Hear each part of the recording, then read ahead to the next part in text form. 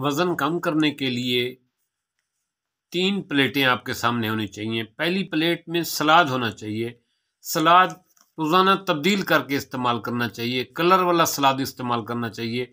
गोभी, टमाटर और अदरक और लीमू, ये उस सलाद में ज़रूर शामिल होने चाहिए। चाहे वो पत्ते वाली गोभी ज़्यादा पसंद की जाती है, टमाटर की स्लाइस पसंद किए जाते हैं और अदरक और इसमें आप किसी दिन खीरा शामिल कर लें। किसी दिन आप जो है वो जैसे शलगम मूली आई हुई है, उसको शामिल कर दें।